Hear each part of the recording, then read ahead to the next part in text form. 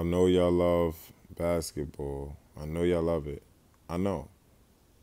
But this shit is bad for the earth. Making making basketballs. A lot happens when an inflated rubber ball hits the ground.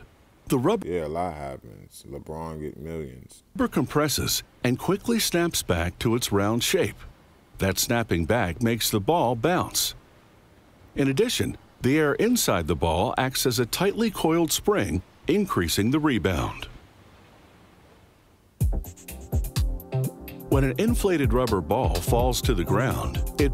I told you what happens when it falls to the ground. LeBron James get M's. bounces back and players catch it on the rebound. This type of ball is at the Yeah, LeBron James. heart of many games, from basketball to soccer to volleyball. At the core is an inflated rubber bladder. Making it starts with the sheet of natural rubber. The factory worker folds it in a specific configuration.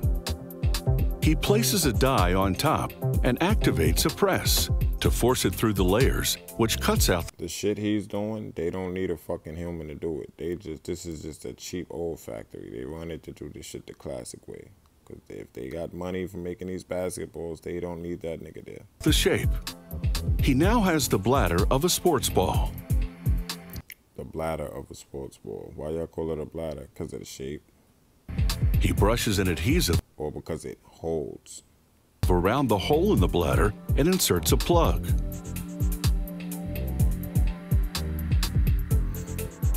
Who wanna sit there all day doing that for a job? Sit there doing that shit for four hours in the Matrix. Get off, go to lunch for an hour, eat a sandwich, Subway sandwich with fucking meat on it, and then go back to doing this shit again. Nah, Another worker inflates the rubber bladder that's not life. as she places it in a spherical chamber. It heats and cures the rubber for five minutes at a temperature of 284 degrees Fahrenheit. The rubber bladder spins on a revolving cylinder, causing it to ta- He's still calling it a bladder, so it's not the shape. take up nylon It's because it's holding. threads. The thread That's basically the inner tube, same thing that's in the top. You made two sales today?